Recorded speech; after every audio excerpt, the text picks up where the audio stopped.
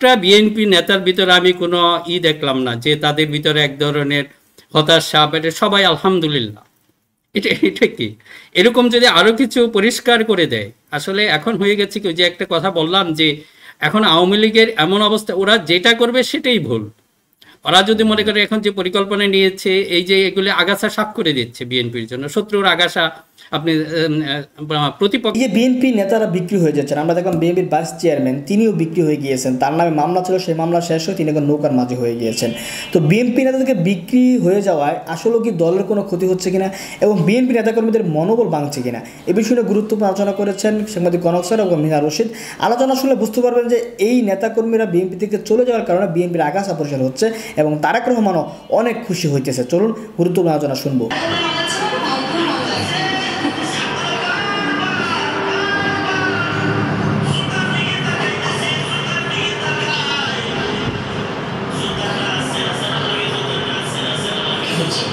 আমি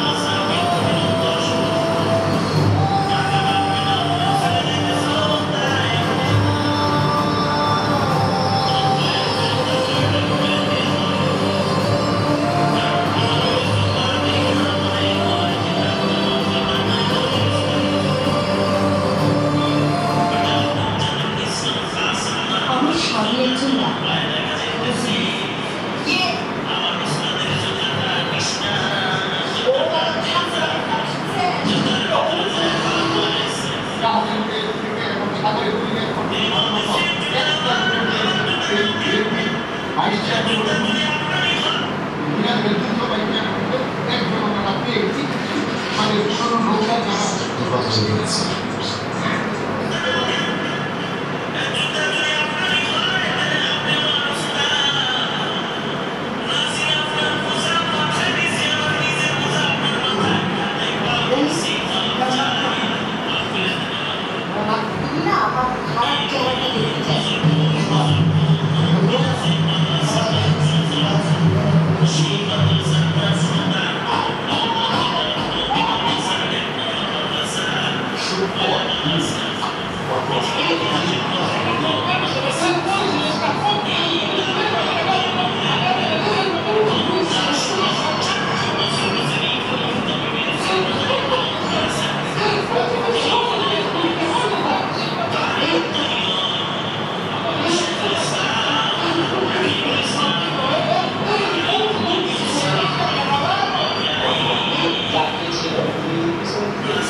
এই কিন্তু বিএনপির জন্য আগাছা পরিষ্কার হয়ে যাচ্ছে, আগাছা সাফ হয়ে যাচ্ছে। এই যে আপনি ব্যারিস্টার উমরের একটা বিএনপি নেতার ভিতরে আমি কোনো ই দেখলাম না যে তাদের ভিতরে এক ধরনের হতাশা এটা সবাই আলহামদুলিল্লাহ। এটা এটা কি? এরকম যদি আরও কিছু পরিষ্কার করে দেয়, আসলে এখন হয়ে গেছে কি যে একটা কথা বললাম যে এখন আওয়ামী লীগের এমন অবস্থা, ওরা যেটা করবে সেটাই ভুল।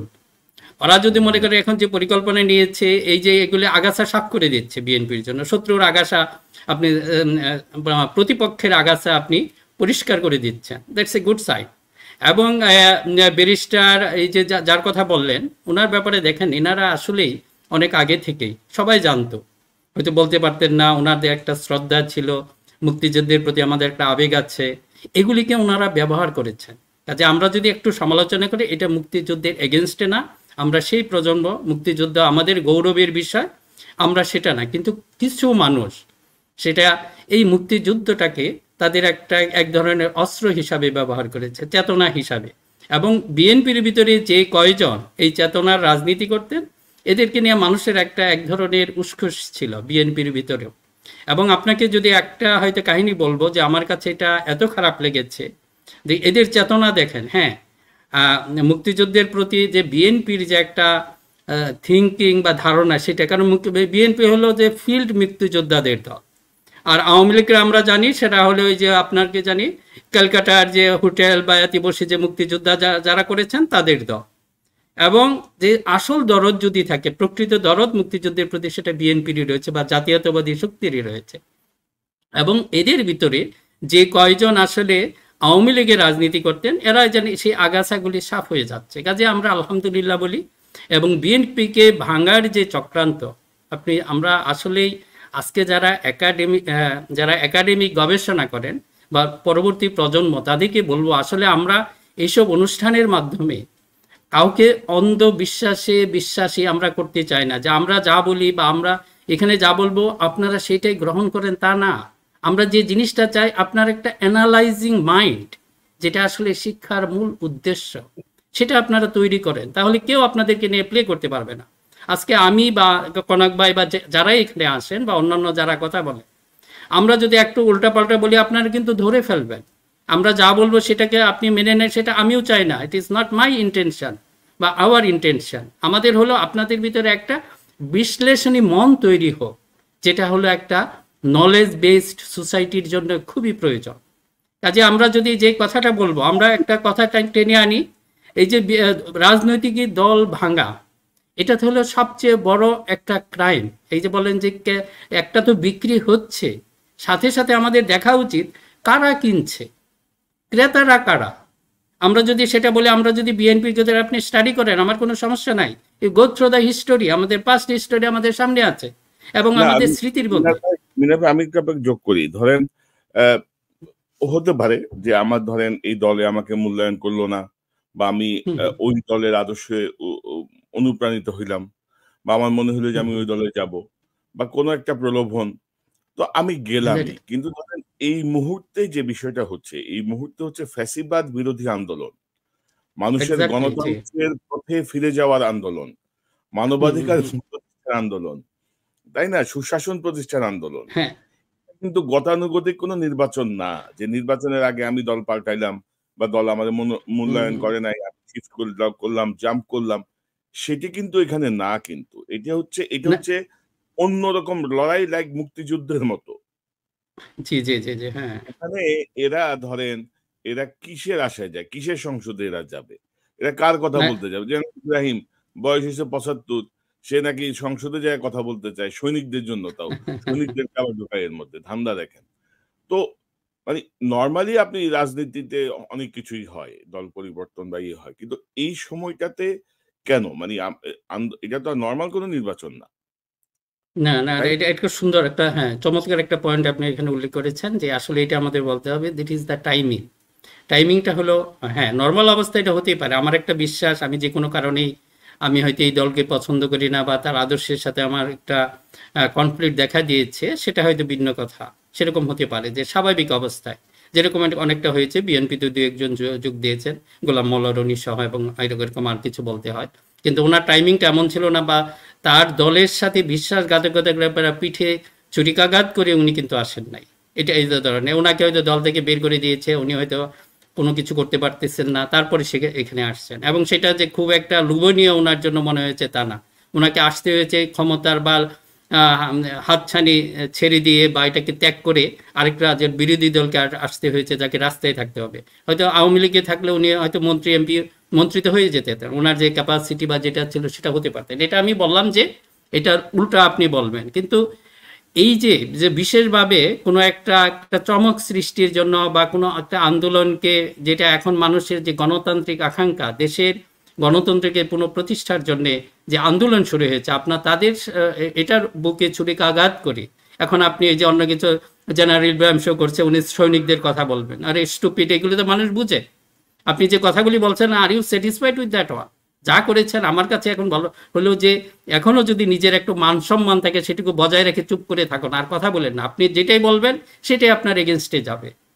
সেটাই এগেনস্টে যাবে। যে মানুষের কাছে যে ধরনের জেনারেল ইব্রাহিমকে নিয়ে সেটাই আমাদের একটা ছিল। আমরা এত খুব কেন? ব্যারিস্টার উমর বা শাহজাহান উমরকে নিয়ে দেখেন মানুষের ওই ইটা নাই ক্ষোভটা নাই।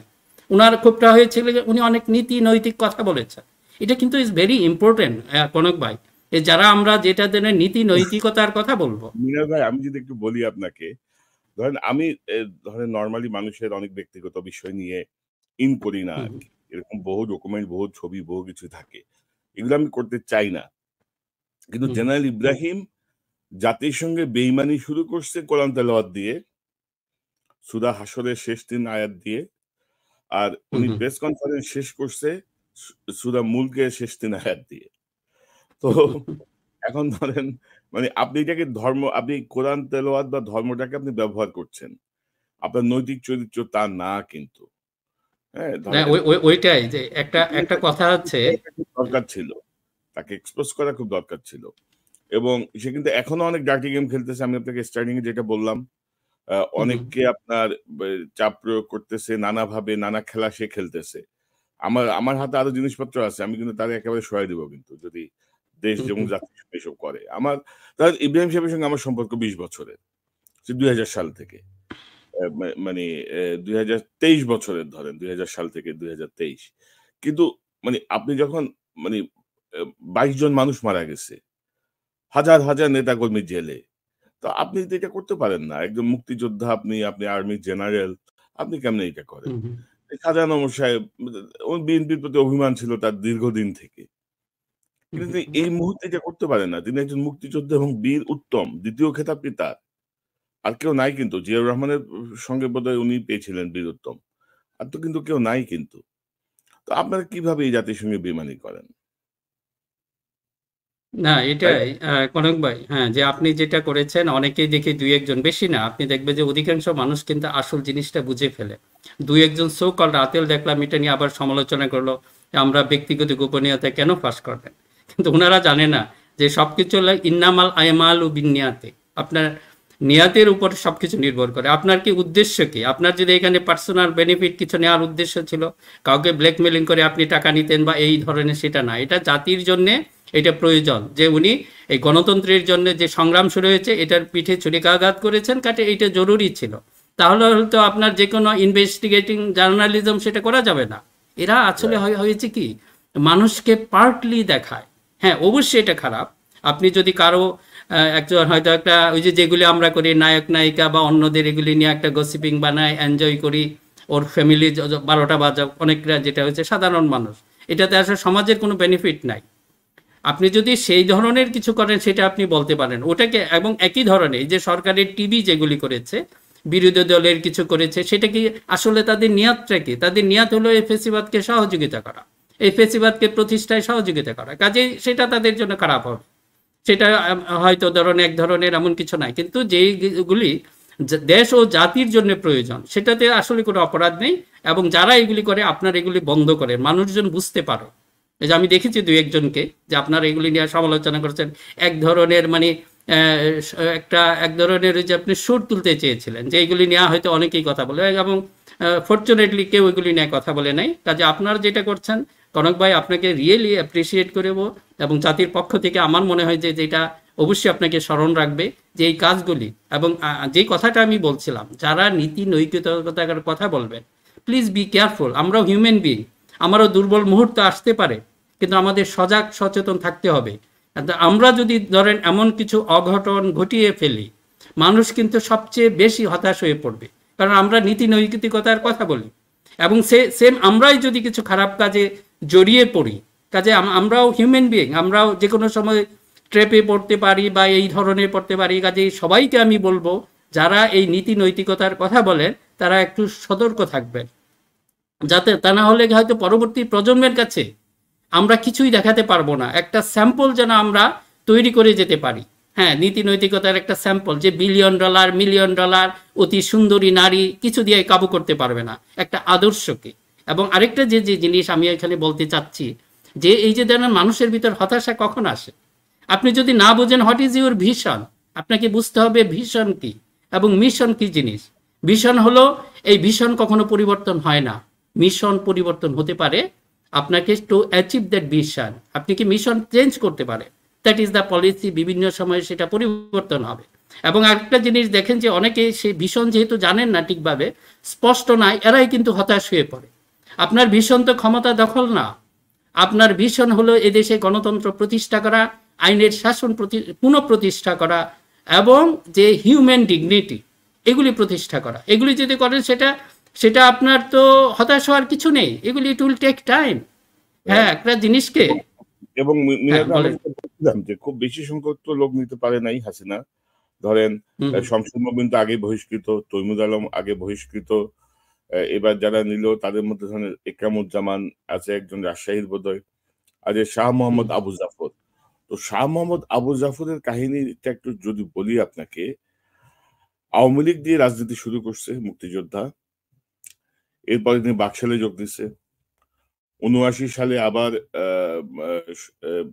উনআশি সালে আওয়ামী লীগের হয়ে সংসদ সদস্য হয়েছে।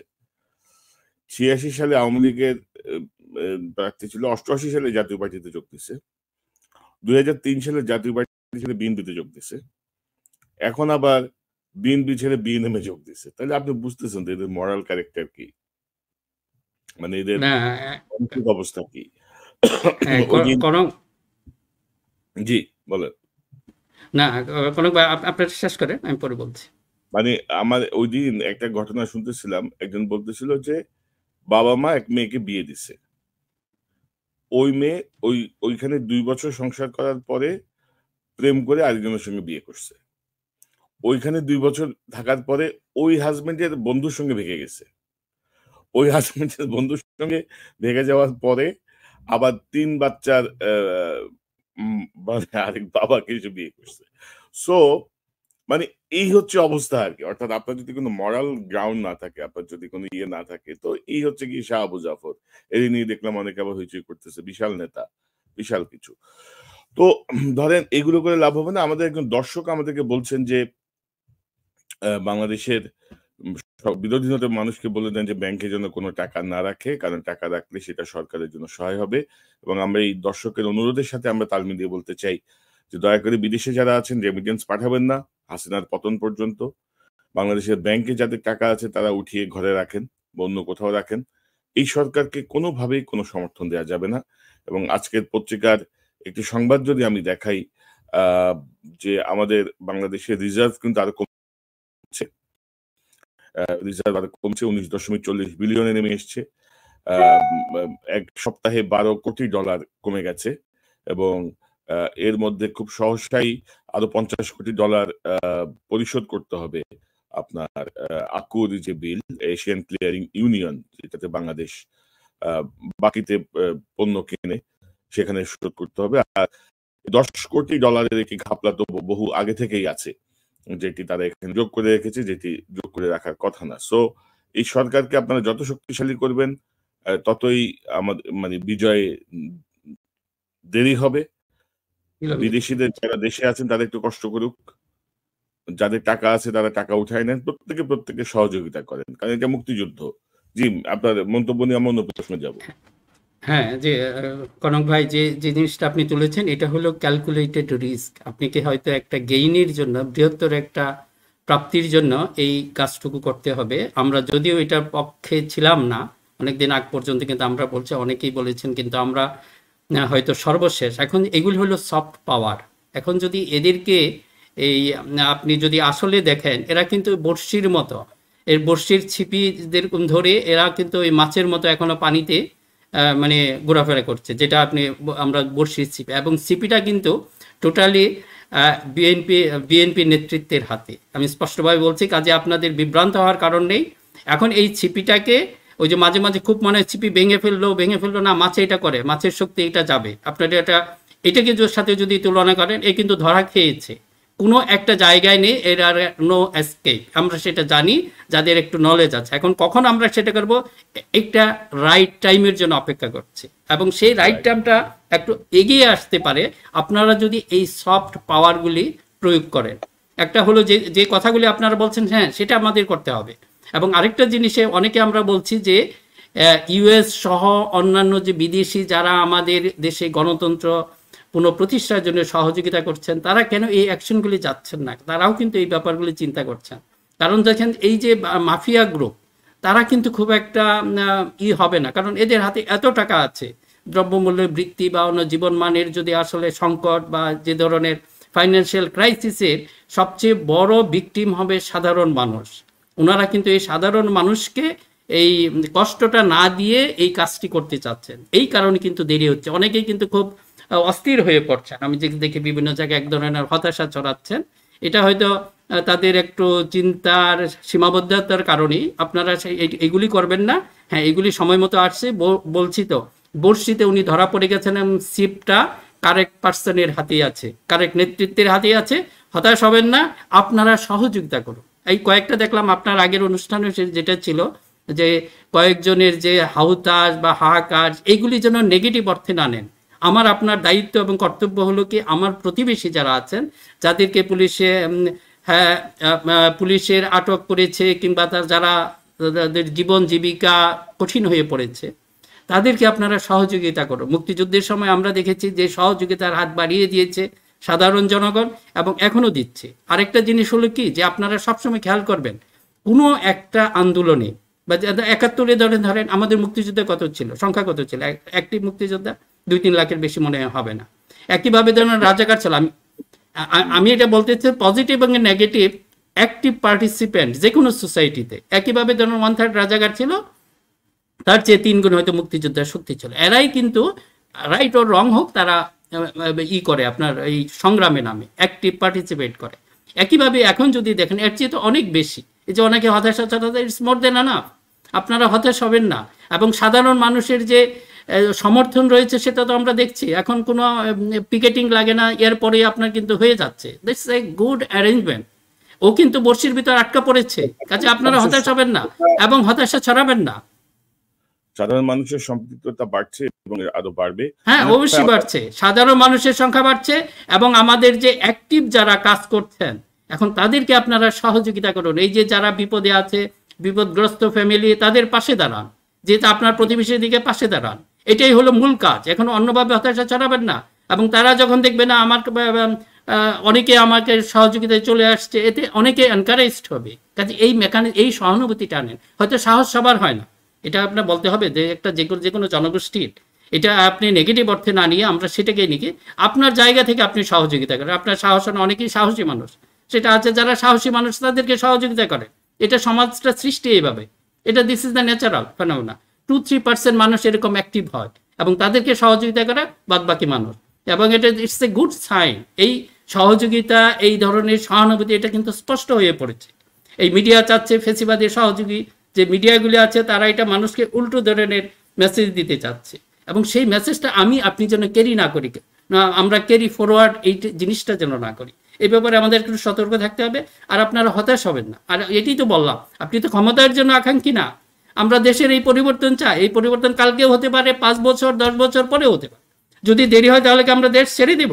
এই ফেসিবাদের হাতে দেশকে কখনো ছাড়বো আমি না পারি, আমার নেক্সট জেনারেশন করবে। They will carry forward my spirit my Right, thinking carry forward হবে। রশিদ অতটুকু যেতে হবে না খুব সহসাই এই ফেসিবাদ থেকে মুক্তি ইনশাল্লাহ। আমরা আমরা ফিরে ফিরে যাব আমাদের দেশে। ইনশাআল্লাহ তো মিনা ভাই আমার অডিওতে কোনো সমস্যা কি পাচ্ছেন আপনি? এখন কি একটু এখন পর্যন্ত ঠিক আছে আমার কাছে ওকে ফাইন তো আমার তো আপনি জানেন যে আমার ডিভাইস এখন রিপ্লেস হয় নাই যার ফলে এই সমস্যাগুলো হচ্ছে। তো আমি কি অন্য প্রসঙ্গে যাই? আহ, উম, আপনি জানেন যে গতকাল জাস্টিস ডিপার্টমেন্ট থেকে তথ্য ফাঁস করা হয়েছে যে ভারতের একজন শিখ নেতা শিখ নেতাকে হত্যার পরিকল্পনা করেছিলেন ভারতের একজন গোয়েন্দা সংস্থার এক কর্মকর্তা এবং এই জন্য তিনি নিখিল গুপ্ত নামে ভারতীয় এক নাগরিককে কাজে নিয়োজিত করেন এবং আনফর্চুনেটলি বা ফর্চুনেটলি যেটা যুক্তরাষ্ট্রের বৈশিষ্ট্য সেই নিখিল গুপ্ত আসলে আহ, গোয়েন্দা সংস্থার এজেন্ট হিসেবে কাজ করছিলেন এবং শিখ নেতা গুরপাত ওয়ান সিং পান্দনকে হত্যা পরিকল্পনা করে আপনি জানেন যে সাম্প্রতিক সময়ে উম, কানাডায় একজন হত্যা করা হয়েছে যেটি কানাডার সরকার সরাসরি অভিযুক্ত করেছে আহ, ভারতকে ভারতের গোয়েন্দা সংস্থাকে একই কায়দায় তারা আমেরিকার ভেতরে এটি করতে চেয়েছিল। এবং এটি কিন্তু ধরেন চরম ভায়োলেশন মানে কূটনীতির চরম ভায়োলেশন দেশের ভেতরে ঢুকে আরেক দেশের গুপ্তচর বৃত্তি। এবং এই ঘটনার পরে কিন্তু জো বাইডেন কিন্তু কয়েক মাস আগে বলছিলেন যে তারা একটি হত্যা প্রচেষ্টাকে নস্বাত করে দিয়েছেন এবং গতকাল জাস্টিস ডিপার্টমেন্ট থেকে এই ব্যাপারে বিস্তারিত জানানো হয়, কাকে গ্রেপ্তার করা হয়েছে, কি হয়েছে, কীভাবে হয়েছে। তো এই সম্পর্কটা কিন্তু ভারতের সাথে আমেরিকার সম্পর্ককে আরও ডাউন করল। এমনিতেই কিন্তু সংখ্যালঘু ইস্যুতে আমেরিকা ভারতকে ব্ল্যাকলিস্ট করছে। কানাডার ইস্যুতে কিন্তু সম্পর্কের অবনতি বা আমেরিকার সাথে হয়েছে। এখন কিন্তু আরও অবনতির দিকে গেল। আপনি কীভাবে দেখেন সংক্ষেপে? হ্যাঁ হ্যাঁ, স্যার ভাই আপনার সাউন্ডটা বোধহয় একটু সমস্যা হচ্ছিল কাজে আমি আবার একটু যা বলছেন যে বিষয়টা একটু বুঝিয়ে বলি। এটা জাস্ট ডিপার্টমেন্ট সরকারি ডিপার্টমেন্ট থেকে যে এটা এটা এসেছে কাজে এই ব্যাপারে কোনো সন্দেহ নাই আপনারা যদি সোর্সটা দেখেন। এখানে ইন্টারেস্টিং ব্যাপার হলো যে একটা কথা বলে না, যে শিয়ানা জাস্টিস ডিপার্টমেন্ট হ্যাঁ যে শিয়ানার উপরে আরেক শিয়ানা আছে, যেটা আমরা স্বাভাবিক এতে বলি। এখন এই ব্যাপারে আমি উচ্ছ্বসিত না, আগে বলে রাখি যে মনে করেন না যে আমি উচ্ছ্বসিত। এইগুলি সাধারণ জিনিসগুলি জনগণকে জানিয়ে দেয়া। প্রথম হলো যে আমাদের যে প্রতিবেশী, এখানে দেখেন যে আমাদের প্রতিবেশী, তারা আমাদের গণতন্ত্র নিয়ে আমাদের এটা আপনারা খেলা খেলছেন। আমাদের একজন প্রাইম মিনিস্টারকে আপনারা পেয়েছেন, আপনাদের কি বলব যে ড্রাঙ্ক গার্লফ্রেন্ডের মতো, যেটা আপনাদের অ্যাসেট মনে করে। এগুলি কিন্তু বেশি দিন, একটু অল্প স্থায়ী। দেখেন, এগুলির সাথে সাথে ন্যাচারাল কিছু প্রতিশোধ আছে। আপনার ভিতরে যে সমস্যা, এগুলি কিন্তু মাথাচাড়া দিয়ে উঠছে। এই যে শিখ সমস্যা, এটা কিন্তু মোটামুটি চেপে ছিল। আপনি যদি দেখেন, এখন কিন্তু এটা মাথাচাড়া দিয়ে উঠছে। কারণ যখন দেখছে ইন্ডিয়া ডেমোক্রেসি অ্যাট স্টেক আপনারা দেখেন, আমরা, আমাদের গণতন্ত্র আপনারা ধ্বংস করেছেন, একই ধরনের প্রবণতা আপনাদের দেশেও শুরু হয়ে গেছে। আমি এই কথাগুলি বলছি আমার ইন্ডিয়ান বন্ধুদের জন্য। আমরা আপনাদের কষ্টে যে সবসময় খুশি হয়, সেটা না। আপনি পেইন পাইলে আমার কোনো গেইন নাই। আমি একজন সুস্থ মানুষ, বাংলাদেশের অধিকাংশ মানুষই সুস্থ। সেটা আপনার জেনে রাখান। এইগুলি শুধু আপনাদের আপনাদের দৃষ্টি আকর্ষণ করছে। যে জিনিসগুলি দেখেন, এই যে আপনাদের শিখ সমস্যা, আপনাদের সেভেন সিস্টার সমস্যা এগুলি কিন্তু মাথাচাড়া আপনারা বিশ, আঠারো থেকে বিশ কোটি মানুষকে আপনারা শত্রু শিবিরে ঠেলে দিচ্ছেন it's a very wrong policy আপনারা কিসের জন্য করবেন আপনারা বিএনপির সাথে ইউ আর নট কমফোর্টেবল জাতীয়তাবাদী শক্তিশালী একটা দলের সাথে আপনার সম্পর্ক করেন যদিও মুখে মুখে আপনারা অনেকবার বলেছেন, কিন্তু আসলে কার্যক্ষেত্রে আপনার সেই একই জায়গায় এখনও রয়েছেন এবং এমন চালাকি করেন, সেই চালাকিও কিন্তু অতি চালাকের গলায় দড়ি। আমরা একটা কথা বলব, অতি চালাকের গলায় দড়ি। আপনারা বৃহৎ শক্তি, কিন্তু ভুলে যাবেন না, আমরাও খুব ক্ষুদ্র নই। আপনারা যদি মালদ্বীপের মতো একটা ক্ষুদ্র জাতি যদি আপনাদের বিরুদ্ধে মাথা তুলে দাঁড়াতে পারে, ইনশাল্লাহ আমরাও পারব। এবং সেটাকে আমি, এটা আপনাদেরকে সতর্ক করে দেওয়ার জন্য, যে আপনাদের যেটা আসতে হবে বিএনপিকে, আপনারা যে জিনিসটা আছেন, আমি বিএনপি নেতৃত্বের জন্যও বলছি, বিএনপি বিএনপি থেকেই ইন্ডিয়ার সাথে সম্পর্ক বিল্ড আপ করতে পারে। কারণ আমাদের যে মূল পলিসি যে সবার সাথে বন্ধুত্ব, কারোর সাথে শত্রুতা নয়। এটা শুধু বিএনপির পক্ষেই সম্ভব, বিএনপির রাজনীতির পক্ষেই সম্ভব। আনফর্চুনেটলি আওয়ামী লীগ তার রাজনীতিকে এমন জায়গায় নিয়ে গেছে। সেটা কিন্তু আমাদের যে মূল, যে জিনিসটা, ওরা ওরা কিন্তু সেটা মানে না। ওরা পাকিস্তানের নাম শুনলে, আপনি সবার সাথে বন্ধুত্ব বলেন, কিন্তু পাকিস্তানের নাম শুনলে আপনি, আপনার, কি জানি, দাঁত ব্রাশ করতে হয়। এটা হয়েছে আসলেই আওয়ামী লীগের রাজনীতি আনফর্চুনেটলি ওনারা এখন আমেরিকাকে শত্রু বানিয়ে ফেলেছেন। সেটা তো এগেনস্ট আওয়ার যে স্টেট পলিসির এগেনস্ট সেটা তো আমাদের স্টেট না, কিন্তু বিএনপি সেটা হোল্ড করে। এমনকি যেহেতু বিএনপি হোল্ড করে, আমি এটা কখনোই বিএনপিকে সাজেস্ট করব না যে ইন্ডিয়ার সাথে আমাদের সম্পর্ক খারাপ হোক। অবশ্যই নেইবার এটা ইটস ন্যাচারাল আপনি নেইবার বা প্রতিবেশীকে চেঞ্জ করতে পারবেন না। এটা তার সাথে আপনাকে মানিয়ে চলতে হবে। সেই থিঙ্কিংটা সেই সুস্থ মানসিকতা বা চিন্তাধারা বিএনপির মধ্যে রয়েছে। কাজে আমরা যারা বলব অতি সহজে, ওই যে আওয়ামী লীগ এটা পছন্দ করে বিএনপি নাকি বিএনপি এটা বিএনপির এই জিনিসটা আমরা আওয়ামী লীগের মতো হয়ে আমরা যাই ইন্ডিয়াকে খুশি করি। এটা বিএনপি রাজনীতি না।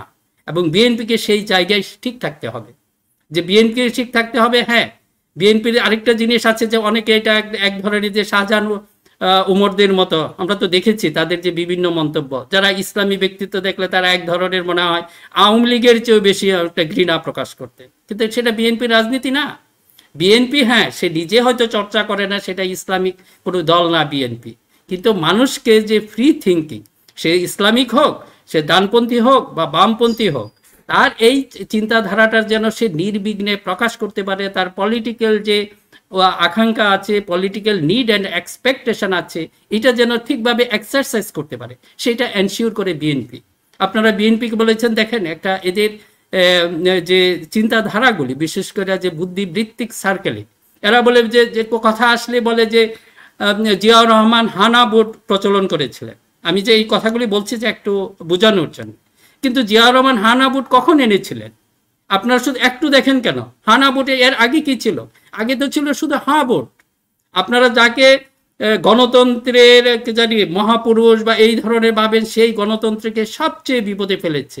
সমস্ত পার্টিকে ধ্বংস করে বিলুপ্ত করে একটা পার্টি করেছেন, বাকশাল করেছেন। সেটাকে আপনারা গ্লোরিফাই করা শুরু করেছেন এখন। এবং সেখানে কিন্তু উনি হা না বুট না, উনি শুধু হা বুট রেখেছিলেন। কোনো না বুট ছিল না। জিয়াউর রহমান প্রথম কি করেছিলেন? হ্যাঁ যেখানে হা না, হা বুট ছিল, ওখানে না যোগ করেছেন। এইভাবে চিন্তা করো। উনি হা নার পরে যোগ করার পর পরবর্তী নির্বাচনটা কি হয়েছে? পরবর্তী সংসদ নির্বাচন হয়েছে। সেই সংসদ নির্বাচনে আওয়ামী লীগের প্রায় তিরিশ বা তেত্রিশ জন ছিল। এবং পরবর্তীতে উনি প্রেসিডেন্ট নির্বাচন করেছে, M A G Osmani Awami লীগের হয়ে ওনার সাথে প্রতিদ্বন্দ্বিতা করেছে। কাজে কোথায় হানা ভোট জিয়াউর রহমান তো সেই একটা, এই কথাটা বলে যে রাষ্ট্রবিজ্ঞানের একটা বিষয় ছিলেন আসলে জিয়াউর রহমান। উনি ছিলেন জেনারেল। ওনারা জেনারেলরা সাধারণত গণতন্ত্রের কি বলে? যে এটা হুমকি স্বরূপ হয়। হয় উনি গণতন্ত্রকে পুনঃপ্রতিষ্ঠা করলেন। যে গণতন্ত্রকে ধ্বংস করেছেন, একজন গণতন্ত্রের প্রবক্তা গণতন্ত্রের মহাপুরুষ আর কত কিছু আমরা বলি।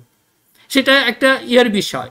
এবং এই যে কাজগুলি উনি করেছেন, এবং বিএন আমি এই কথাগুলি বলার উদ্দেশ্য যে আমাদের পার্শ্ববর্তী যে গণতান্ত্রিক, ওনারা গর্ব করেন বিশ্বের সবচেয়ে বড় গণতন্ত্র। আপনাদের এই জিনিসগুলি ভাবতে হবে, সেই জিয়াউর রহমানের দল কখনোই সেটা আপনাদের এগেনস্টে যাবে না। আমরা যদি এখানে গণতান্ত্রিক এই ধারাগুলি, গণতান্ত্রিক ধারাগুলি যদি আমরা এই সাব কন্টিনেন্টে প্রতিষ্ঠিত করতে পারি, সেখানে সবাই ভালো হবে। আপনিও ভালো থাকবেন। একটা জিনিস খেয়াল করবেন, আরেকজনকে অশান্তিতে রেখে আপনার শান্তি আপনি কখনোই এনশিওর করতে পারেন না। আমি যদি অশান্তিতে থাকি, আমি চেষ্টা করব কি? আপনাকে আরও অশান্তিতে রাখা। এই যে অনেকে ভাবছেন হ্যাঁ সে আমরা, আমাদেরকে আপনারা একটা ফোর্স করছেন, একটা গৃহযুদ্ধের দিকে ঠেলে দিচ্ছেন এই গৃহযুদ্ধ হলে আপনি সেফ হবেন না। আপনার ইন্ডিয়া কিন্তু টুকরা টুকরা হয়ে যাবে। আমি আজকে বলে রাখলাম, এই দেশে যদি গণতন্ত্র ধ্বংস হয় এদেশে যদি গৃহযুদ্ধ শুরু হয়, সেটা কিন্তু আপনারাও বাঁচবেন না। সেটা হয়তো এমনও হতে পারে ইন্ডিয়া টুকরো টুকরো হয়ে যাবে। আমরা সেটা চাই না। কাজে আমাদেরকে শান্তিতে থাকতে দেন। আপনারা শান্তিতে থাকুন। এই যে আজকে ইউএসএ যেটা করেছে, দেখেন, এগুলি কিন্তু হাইডিং কিছু নাই। এটা আপনার সে- যে কেউ জানবেন। আপনি, আমি যারা একটু ইন্টারেস্টেড তারা পড়ে নিন তারা আপনার চেয়েও বড় শিয়ানা আছে। আপনারা শিয়ানা শিয়ানা আমরা খুব স্মল আমরা সেটা করব না, কিন্তু আমরা খুশি হব। আমার এই খুশিকে বন্ধ করার সেই শক্তি আপনার নাই। যেরকম শক্তি নাই, আপনি ক্রিকেটে। এটা নিয়ে একটু দেখলাম যে খুব আপনারা খুব বেশি হাউতাস শুরু করেছেন। এটা কেন হলো? কেন অস্ট্রেলিয়া জয়ী হয়েছে, ইন্ডিয়া পরাজিত হয়েছে? কেন বাংলাদেশের মানুষ এত খুশি? এটাকে আপনাদের স্টাডি করতে হবে। আপনারা শুধু শুধু এটা বলেন, না, আপনার, আমি, আপনি আপনার দেশকে ভালোবাসেন। আমি আমার দেশকে ভালোবাসি। আমার দেশকে ভালোবাসা যদি এটা পার্ট হয়ে যায় আপনাকে হেট্রেট করা, এটার জন্য দায়ী কে? আজকে কিসের জন্য? আপনারা যদি এইটা বলেন যে আমাদের দেশে গণতন্ত্রকে ধ্বংস করেছেন, আপনারা সহযোগিতা করেছেন, এটা স্পষ্ট। আগে তো একটা আড়ালাড়ালি করতেন, এখন তো এটা নেকেড হয়ে পড়েছেন এবং যে কথাটা বললাম, এই কাজটা করাতে আপনার জন্য ভালো হয় না আপনার গণতান্ত্রিক এস্টাবলিশমেন্ট আপনার গণতান্ত্রিক ভাবধারা সব কিছু কিন্তু এখন হুমকির মুখে পড়েছে। কাজেই আমাদের যে কাজগুলি হলো, আমি এখনও আপনাদের রিকোয়েস্ট করব, আপনারা এক পা এগিয়ে আসুন, আমরা দুই পা এগিয়ে যাব। সেটা বিএনপি থেকেই হবে। আপনার দালাল হওয়ার দরকার নেই, আপনি যে দালাল ক্রিয়েট করেছেন দে ডোন্ট মানে কি রিপ্রেজেন্ট আমাদের জনগণকে রিপ্রেজেন্ট করে না। আপনারা যে দালাল তৈরি করেছেন চিকনা বুদ্ধির মাধ্যমে, এরা কয়েকজন নিজের স্বার্থে কাজ করবে। এরা লুবি কুকুরের চেয়ে অধম। এরা কীভাবে কাজ করবে? দেশের মানুষ এদের প্রতি কোনো রেসপেক্ট নাই। কিন্তু আমরা যে কথা বলছি দেখ না লাখ লাখ, কোটি কোটি মানুষ আমাদের কথা শুনবে। আমরা যদি সেই কথাটা বলি, না, আমাদের প্রতিবেশীর সাথে ভালো সম্পর্ক করতে হবে। এমন কিছু করা উচিত হবে না, যেটা আমাদের প্রতিবেশীদের ক্ষতি হবে। কাজে আপনার ওপেন মাইন্ডে আসেন। কিন্তু আমাকে চেঞ্জ করে বলেন, আমার বিশ্বাস চেঞ্জ করতে হবে, আমার সংস্কৃতি চেঞ্জ করতে হবে, আপনার, আপনাকে প্লিজ করার জন্য সেই কাজটুকু তো আমি করব না। সেটুকু আপনাকে জেনে, আপনাকে আমার সাথে কথা বলতে হবে, দালালদের সাথে না, বাংলাদেশের জনগণের সাথে কথা বলতে হবে। আপনারা যে পলিসি করেছেন, এটা আসলে আপনাদের জন্য ক্ষতিকর হয়েছে প্রত্যেকটা প্রতিবেশীর সাথে। কাজে আমি গুরুত্ব আলোচনা শুনেছে, আলোচনা শুনে বুঝতে পেরেছেন যে বিএনপি আসলে উৎফুল্লিত। তারা হয়তো অনেকে চাচ্ছিল না চলে যায়, কারণ তাদেরকে কাজ হচ্ছিল না। তো এখন এই মানুষগুলো যাওয়া মানে বিএনপিটা শক্তিশালী হওয়া। বিএনপিতে গাদ্দার সরে যাচ্ছে ব্লুবি মানুষ সরে যাচ্ছে, যারা রাজনীতি টিকে থাকতে হবে তারা সরে যাচ্ছে। তার মানে বিএনপি এখন যারা নেতাকর্মী আছেন বা শেষ পর্যন্ত যারা থাকবেন, তারাই হচ্ছে প্রকৃত দেশপ্রেমী এবং দলের জন্য তারা সব কিছু করতে পারে। করে এখানে যে আলোচনা করা হলো সাংবাদিক কনক সরোয়ার, সেই আলোচনা কেমন লাগল? কমেন্ট করবে কমেন্ট করবে।